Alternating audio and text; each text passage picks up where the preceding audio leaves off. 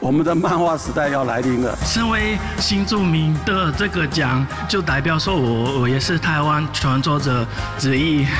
我一直一直都很喜欢画画和创作，抱着这一份爱，然后继续创作更多更好看的漫画。我爱台漫，你们的作品都在我人生中有一个很大的养分。对一直在漫画这领域创作的同伴们致上最高的敬意。做一个让自己热血青春的事情，那对我来说就是继续创作，继续画漫画。